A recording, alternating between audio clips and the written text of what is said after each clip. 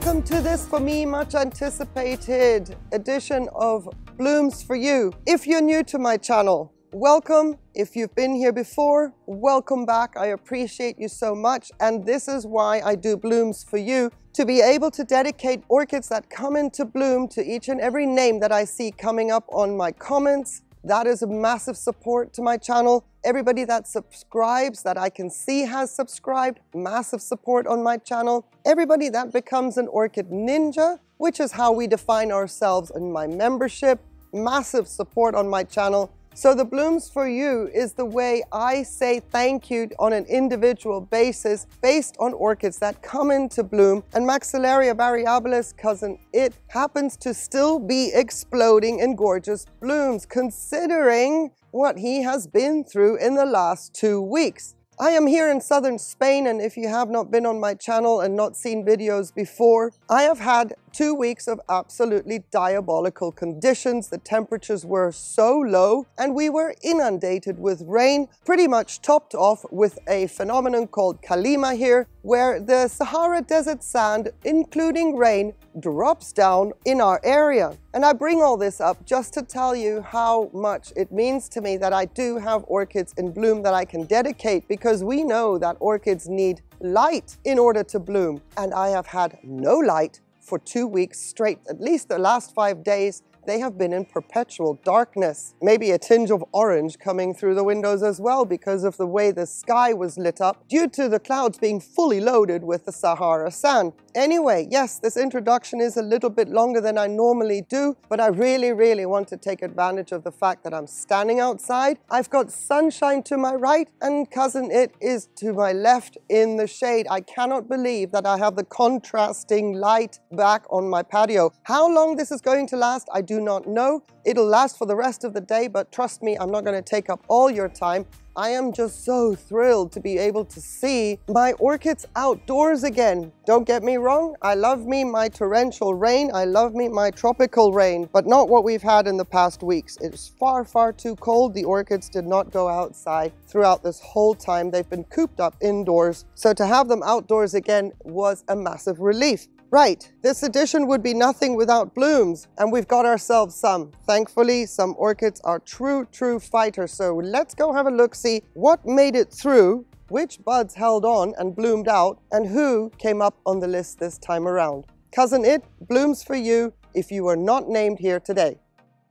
Can I have a drum roll, please? First time bloomer for me, for Tarja Alexandra. This is, another drum roll maybe?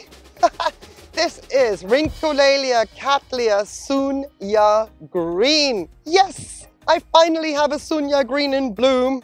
I have two Sung Ya Greens, but the mailman has been blasting his buds on me for the last three years. And this regular, pardon the description, but this regular unnamed Sung Ya Green has been a few years with me. And then I divided her and sent off a division to the orchid room. So she was in a constant state of acclimating and getting over the stress I was putting her under. But enter 2022 and here we have Rhyncholaelia Sunya Green. First time bloomer for me and I dedicate this bloom to you, Tarja Alexandra, for your support on my channel. Now what you see here, the reflection of the facade is somewhat washing out the color of the lip and the petals and sepals, so I will be inserting some pictures of the true green that she is showing me. I am a big fan of green blooms. So I hope, Tarja Alexandra, I am not disappointing you with this dedication, and I hope that you do like green blooms as well. And oh my goodness, does she smell good. She has a very, very clear fragrance of lemon and lime. Mojito without the mint. There is a hint of sweetness, but it is so deliciously pungent, citrusy, and so fresh. So her color and her fragrance, they just match and go really well together. This bloom has now been open five days. Because she's a first time bloomer, I am not entirely sure if her cupped shape is normal and if she's gonna stay that way. But because my conditions are working against me a little bit, I also do not know how long this bloom will last. So after five days, she's still a bit cupped, but I did not want to waste this opportunity because looking at her from the front, wow, If she were open, she would span my hand. That's about 20 centimeters from the end of my thumb to the end of my pinky. She is just amazing. The texture as well is strong. It's not waxy, but it's very, very strong.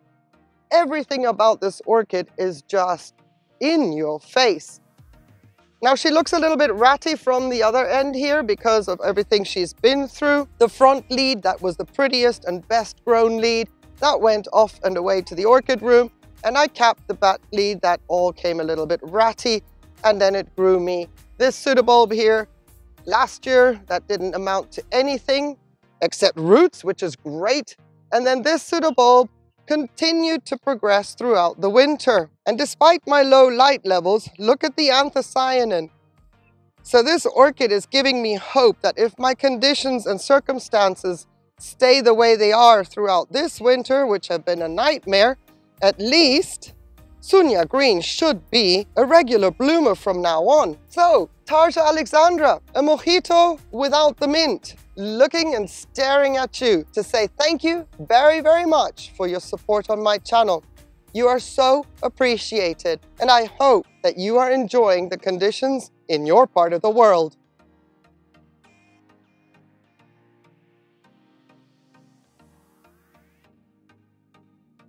She is so pretty. she is labeled Tolumnia firm white. Now, if that is true or not, I do not know. Basically, do I care? Yes, because I'm dedicating these blooms to Lisa Todman and Kathy de Vries. And it would be nice to give you the exact identity of the Tolumnia that is blooming right now. However, I can only at this point in time guess.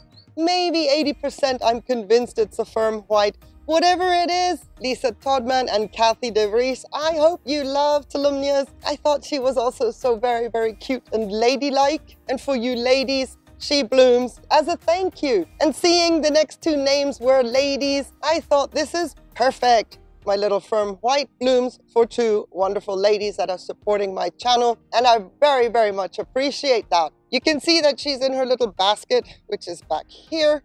Her spike is not as long and massive and cumbersome as some Tolumnia spike, but she is a very, very vigorous little Tolumnia. Thank goodness for that. She came through all my mistakes of 2020. Check this out. I have another spike.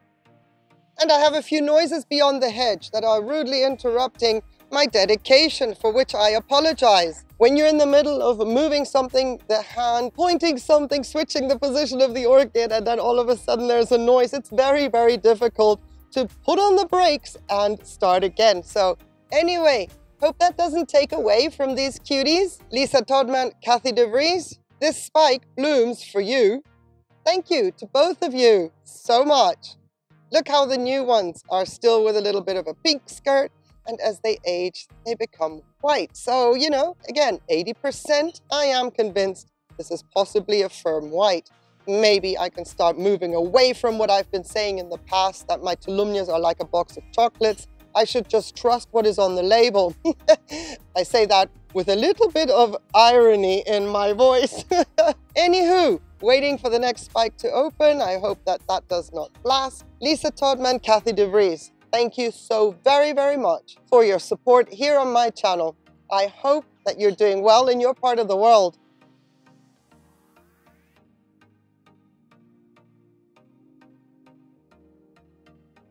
Okay, we seem to have a little bit of a mess on our hands here, but let me explain. Nicole Allen, first of all, I want to draw attention to the fact that this dedication goes to you. I know that you like Tolumnias and I have a gorgeous little Tolumnia pink beige in bloom, even though it's a branch. These blooms are amazing. I am not going to waste them. You see the top branch right here was my first choice. Oh I've got a, I'm being photobombed by pomegranate back there. but here's my first choice, but they actually just collapsed on me because what I do is on the daily, I bring my Tolumnias in and out of my grow space. If it is a somewhat warmish day, even if it is overcast, the Tolumnias come outside. And the constant in and out, in and out will make blooms get confused and collapse. So we're just gonna nip these off just to make it look a little bit more tidy.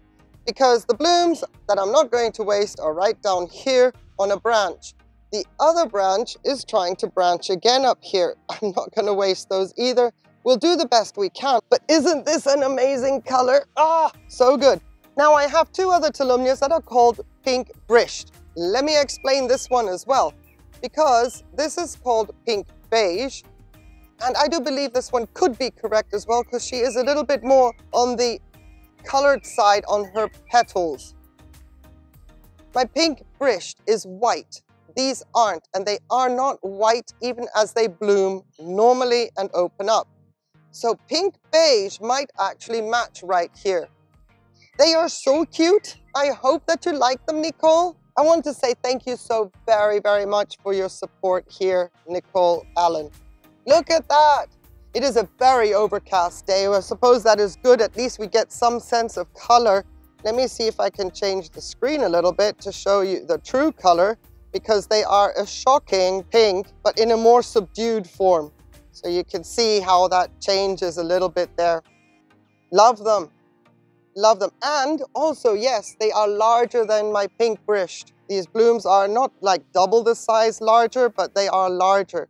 So I think pink beige is the identity of these Tolumnias. Nicole Allen, either way, I think they're gorgeous and I hope that you like them too. Thank you so very, very much for your support on my channel. So appreciated.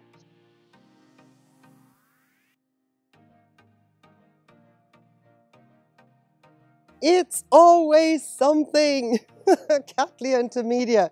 Yes, she blooms for you. It's always something. And I think I remember correctly that you like the big blousy Cattleya blooms the blooms that I had tagged with your name, the buds blasted. So, ooh, it was a long wait to get something Cattleya to bloom for you. Even though this bloom is not exactly big and blousy, she is more compact and finer in her structure, I hope it's always something that you like a Cattleya intermedia as well. And also, if I may add, quite fitting for today, it's always something. I was going around the patio trying to make sure that I could get this bloom into the viewfinder properly because it wasn't that easy to get a cleaner background considering I have sun today and the white facade is reflecting, of course, white on a white bloom. Wash out the colors completely, why won't you? So I went somewhere else on the patio and then my background was full of buckets with red rainwater from the recent rain that we had that dumped a load of Sahara sand on us. So yes, it's always something, but I think I think this is a good angle and we can appreciate the bloom and I can say thank you to you properly for your support on my channel. It's always something. so having gone all around that rigmarole, I hope you like Cattleya intermedia blooms. Unfortunately, I cannot appreciate her beautiful rose sugary fragrance that she normally exudes because my temperatures are too low and I didn't have any sun since she's bloomed out, which is now approximately four days from the point of filming. But still, she is gorgeous and she borders on a miracle because considering the circumstances, I can only say, yeah, I am happy to have at least one of them to give to you. It's always something. Hope you're doing well. Thank you so much for your support.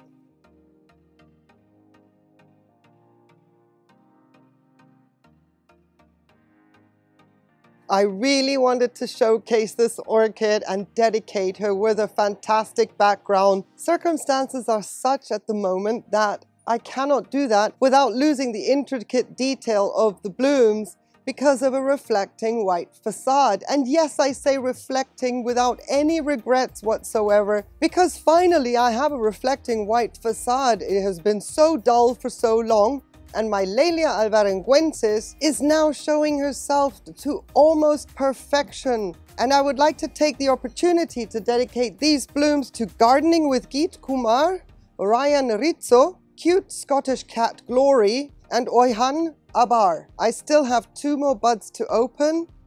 Considering the circumstances, I am not going to miss out because the first bloom had already opened uh, like a week ago. She's a first time bloomer for me, so I don't know how long these blooms last, and I'm not gonna miss out on the opportunity to showcase her, even though my background is all a little bit whack and doesn't really do her beauty justice, but if we can just focus on the blooms, the background will fade away. Laelia alvarenguensis, my first time bloomer. She is obviously not fragrant, but oh my goodness, she is amazing. Look at where that orchid is. She's all the way down there. The fact that I still have this spike and Mr. Gecko hasn't broken it is because it was far too cold for Mr. Gecko. He is not even out of the woodwork yet. He is not even part of the equation. I'm hoping that I can keep these in focus because they're just gorgeous. this little frilly lip, everything about this is so charming except the fact the spike just comes out of, let's say, nowhere and is just like, well, here I am. Oh, beautiful. Love it. So, thank you so much. Gardening with Geet Kumar, Ryan Rizzo, Cute Scottish Cat Glory, and Oyhan Abar for your support on my channel. I am very, very happy to be able to dedicate finally my blooming Laelia alvarenguensis to you as a massive thank you for your support on my channel.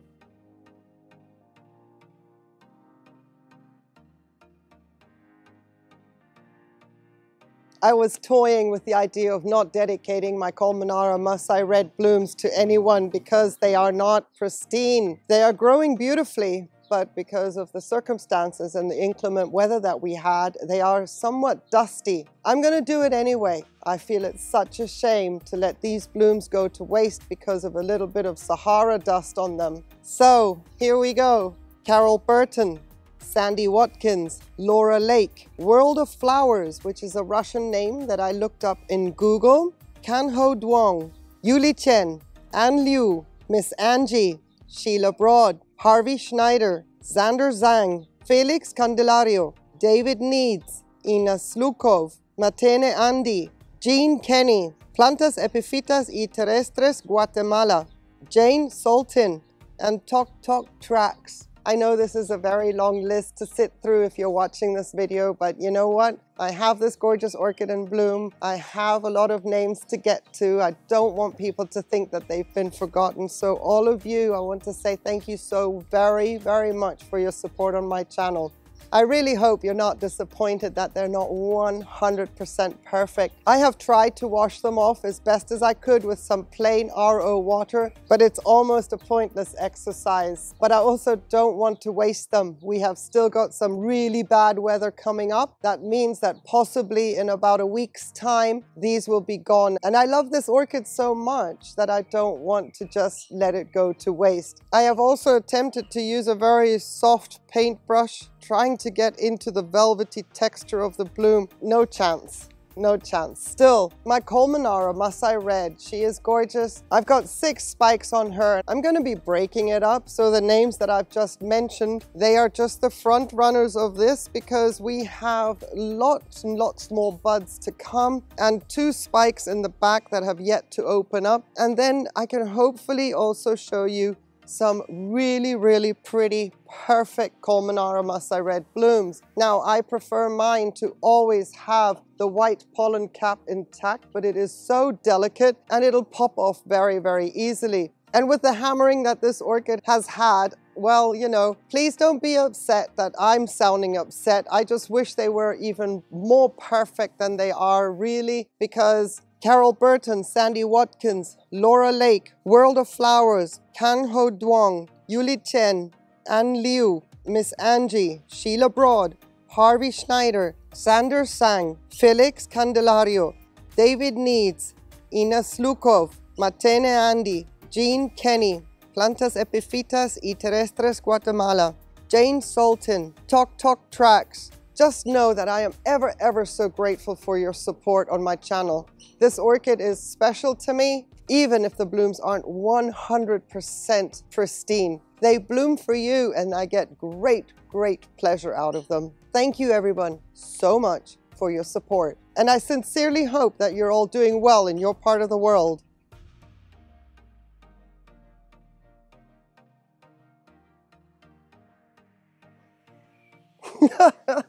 I just got scolded right after the intro clip. So look at this. It has been so bad. I even forgot cousin It's glasses. It's that bad. I'm telling you, he looked at me afterwards and went, what are you doing? Where are my glasses? I'm like, oh gosh, I'm so sorry. In all these weeks, there was absolutely no need for glasses, so I completely forgot about them. Anyway, Cousin It in his full glory with his glasses on. his face afterwards, he really looked at me like with, you know, deer in headlights eyes. And I was like, what are you doing? Anyway, I decided not to repeat that clip because, yeah, it was all part and parcel of what happened today, including myself standing in sun. I'm not even entirely sure if I can trust the current status quo. Anyway, thank you everybody so much for your support. Thank you for watching. Leave me a comment if you've never done so before. Let me know that you're here. Your time is so appreciated.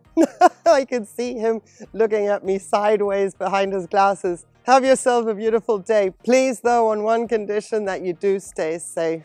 Take care. Bye.